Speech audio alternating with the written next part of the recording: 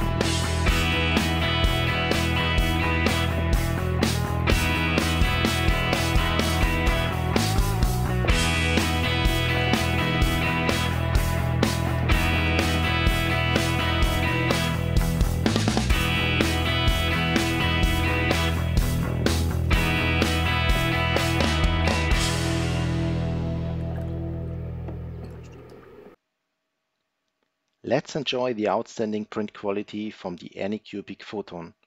Just amazing!